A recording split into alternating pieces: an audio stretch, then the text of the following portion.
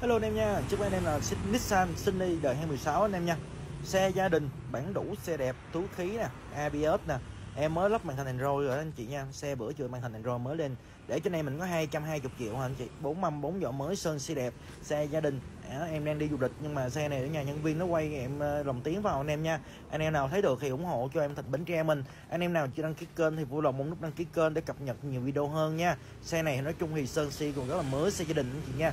Taxi giờ anh em mua đã 170 180 rồi. Anh em bù vô bốn, năm chục, anh em lấy xe gia đình chạy sướng hơn, bảo dưỡng lâu bảo dưỡng hơn ha anh em ha.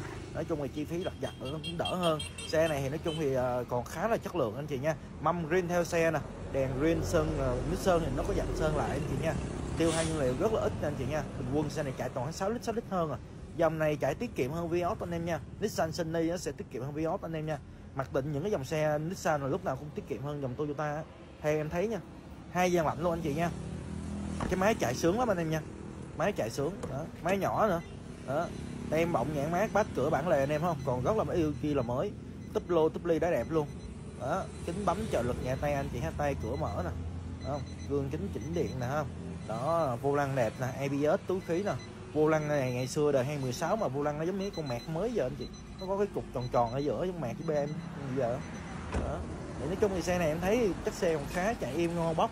Anh em cứ qua lựa nha. Cảm ơn anh em mình nhiều anh em ơi.